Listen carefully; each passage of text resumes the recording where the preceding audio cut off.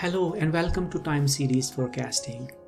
In this video I'm going to talk about prediction intervals. So if we have a series like uh, this series YT and uh, we have data up till this point of the series and we apply our model, we fit our model and forecast uh, based on this part of the model. Now we'll have different futures depending on uh, different variables. The future is not fixed so future can hold different uh, scenarios for us.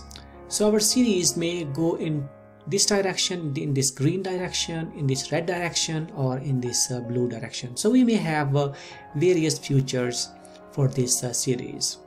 So what we can do is instead of uh, forecasting a particular value of the series, we calculate an interval of values, for example this purple interval and we say that uh, we are this much confident that uh, our forecast value will be within this uh, boundary. So what we can do is we can calculate prediction interval around uh, our point estimates. And the formula that we use to calculate these prediction intervals is that we use plus minus 1.96 and then this sigma. This will give us a 95% confidence interval this sigma hat, it is each step forecast standard deviation that we generally calculate while calculating our forecasting uh, values.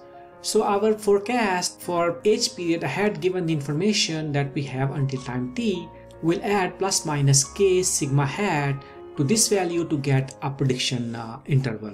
For the 80% confidence interval we'll use the value of k as 1.28 and for 95% confidence interval will use a value of 1.96. For example, if we are using Google stock prices and our last observed value is this and we are using a naive method, so obviously our forecast for the next period will be this value. So we can go ahead and calculate uh, sigma, which in this case is 6.21 and we can calculate the 95% confidence interval as our forecast which is from here plus minus 1.96 because we are calculating 95% confidence interval and remember the value of k for 95% uh, confidence interval is 1.96 and then we have to use this uh, sigma so we can calculate two values for uh, the Google stock price to take. The one is by subtracting uh, this part from our forecast and one is by adding uh, this part. So this will give us a range of values that uh, Google stock price uh, can take. So based on this, we can say that uh, uh we are 95% confident that the Google stock price will be within this range. Calculating this confidence interval in R is pretty easier.